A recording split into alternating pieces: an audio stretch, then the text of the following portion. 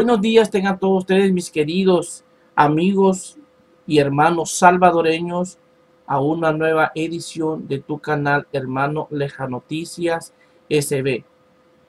Si no estás suscrito en mi canal, por favor te pido que te suscribas para que veas mis videos. Siempre lo hago con cariño, con esmero. Dedico un poquito de mi tiempo para dar y expresar lo que yo siento y a la vez también pues poner en, ridículo a personas como Emilio Corea y como otros también que están contra el pueblo. En, este, en esta hora vamos a hablar de la diputada estrella de Ghana, Rebeca Cervantes, donde de una vez por todas le cierra la boca a Emilio Corea del partido Arena. Cabe destacar que Emilio Corea ha sido uno de los más criticados en el Congreso salvadoreño y peor de su partido Arena, que no quieren aprobar el plan control territorial. Bueno, pues ellos pues saben sus razones y todo. Lo que no es entendible es cómo las personas que no son ni de Arena ni el FMLN, que están en la élite, los defienden. Estoy hablando de los champeros y los, y los, y los terengos, que siempre me ponen mensajes diciéndome de que yo, que que como, que como les hablo, que todo eso, que soy ignorante y neces La verdad hay que decirla, venga de donde venga. Hace poco publiqué un, un video donde no estoy de acuerdo de algunas cosas que pasó en Nuevas Ideas y eso no me hace a mí estar solo en un lado. A mí lo importante es lo que está ahí atrás, que es mi bandera, que simboliza mi país, El Salvador, ante todo. Así que vamos a escuchar las palabras de nuestra diputada que le dice a Emilio Corea. Corre video.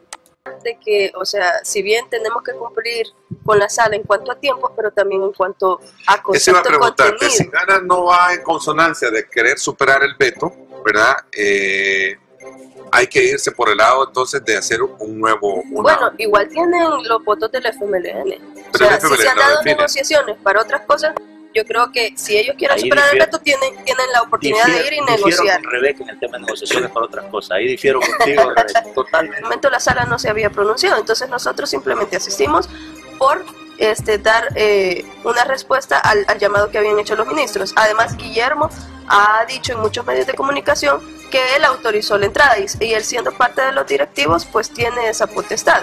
Entonces, aparte de eso, todos los que estuvimos allá no nos hemos quejado. O sea, la, la seguridad del presidente se tenía que mantener, la seguridad de nosotros. Mi punto planteado era el tema de la interpelación, me fue el pero tema de la de la base esto. Pero, okay, pues ese punto pero tiene, o sea, tiene es que a partir de ahí tiene una relación, porque esto parece más un capricho no, no es por capricho. cosas que pasaron no, no que por lo que realmente significa. Y te voy a explicar por qué porque si la asamblea y, y, no puedo hablar por la por las por las legislaturas anteriores porque es mi primer periodo pero si la asamblea estuviera en disposición de que le preocupa el, el, tema de seguridad, ¿por qué no interpelaron antes cuando, te recuerdo cuando se quemó el microbús, que los pandilleros le dieron fuego a un microbús y murieron como 21 personas o más ahí dentro del microbús? Anoche, eso en esos casos, anoche me lo decía don Mauricio Chusí, que estuvo conmigo en el programa de Ernesto López Radio, él decía, me llama mucho la atención cuando en el pasado también habían ciertos eh, elementos propios para poder haber hecho interpelaciones y estarlos haciendo ahora. Exacto, o sea, tuvimos masacres y no se hizo nada, no se interpeló a nadie. Me, entonces, me trajo al recuerdo lo que tú dices. Entonces ahora es como que yo como diputado me siento más y por eso hoy sí interpelo, pero cuando el pueblo salvadoreño sufre por un tema de seguridad, no me interesa interpelar.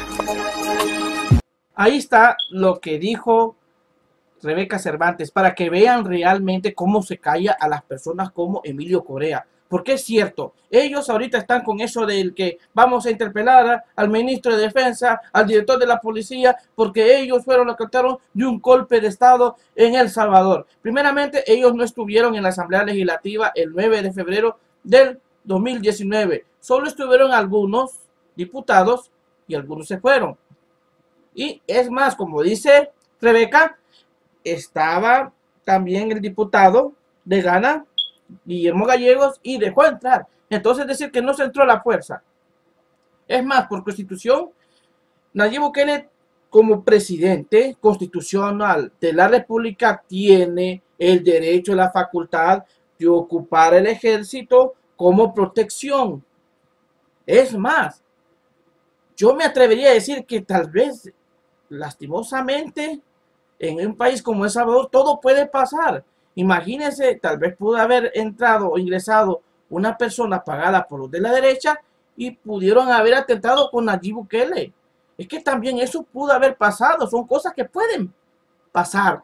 ¿ah? Entonces, ellos están, eh, están con eso de miedo con, con el ejército que entró y si ni ellos no estaban. Y otra cosa también, lo que pasó en el microbús, cuando murieron todas esas personas en el microbús, que incluso estaba un amigo mío también, que murió ahí, esa agonía, esa tristeza de la familia que perdieron a, a sus seres queridos, fue en el tiempo en que gobernaba el FMLN y había pactado con los criminales.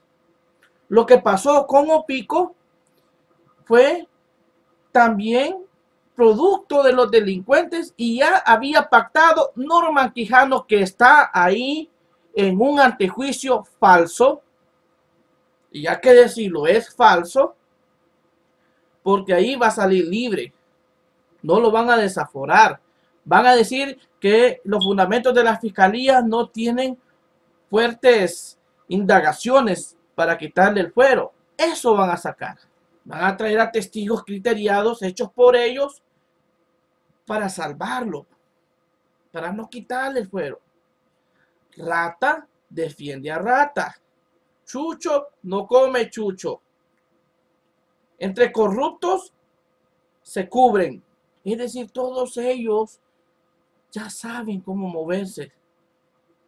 Entonces, lo que le dijo esta señora es cierto. Están enfocándose como una cortina de humo lo que pasó el 9 de febrero, cosa que no fue tan grande como ellos lo están haciendo, pero lo están haciendo porque saben que ahí está Norma Quijano, ahí está el plan control territorial, que son temas que urgen para el país. Así que hasta aquí dejo esto y la verdad le daré un aplauso.